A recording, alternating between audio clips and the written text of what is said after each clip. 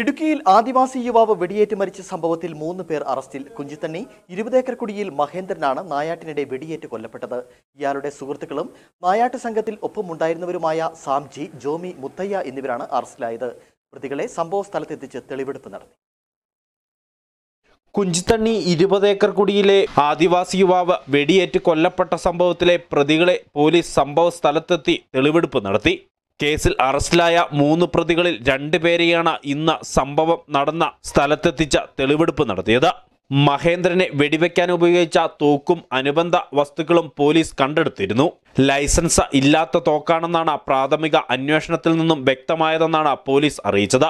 മഹേന്ദ്രനെ കാണാനില്ലെന്ന് കാട്ടി ബന്ധുക്കൾ രാജാക്കാട് പോലീസ് പരാതി നൽകിയിരുന്നു. ബന്ധുക്കളുടെ പരാതിയിന്മേൽ പോലീസ് നടത്തിയ അന്വേഷണത്തിലാണ് ഒരുമിച്ച ഓട്ടോയിൽ സഞ്ചരിച്ച സി സി ടി വി ദൃശ്യങ്ങൾ ലഭിച്ചത്. തുടർന്ന് മൂന്നുപേരും പോലീസിന്റെ നിരീക്ഷണത്തിൽ തുടരവെയാണ് കഴിഞ്ഞ ദിവസം ഇവർ കുറ്റസമ്മതം നടത്തിയത്. പ്രതികൾ മൂന്നുപേരും മഹേന്ദ്രനെ കാണാതായ പരാതിയെ തുടർന്ന് പോലീസിന്റെയും നാട്ടുകാരുടെയും ഒപ്പം തിരച്ചിലിൽ പങ്കെടുത്തിരുന്നു. അന്വേഷണത്തിന്റെ പല ഘട്ടങ്ങളിലും വഴിതിരിച്ചു വിടാൻ പ്രതികൾ ശ്രമിച്ചതായി പോലീസ് അറിയിച്ചു.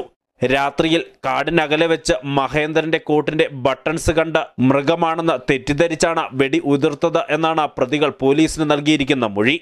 മൂന്നുപേരുടെയും ചോദ്യം ചെയ്യലും തെളിവെടുപ്പും പൂർത്തിയാക്കിയ ശേഷം ഇന്ന് വൈകുന്നേരത്തോടെ കോടതിയിൽ ഹാജരാക്കും. കെ ഇടുക്കി വിഷൻ രാജകുമാരി.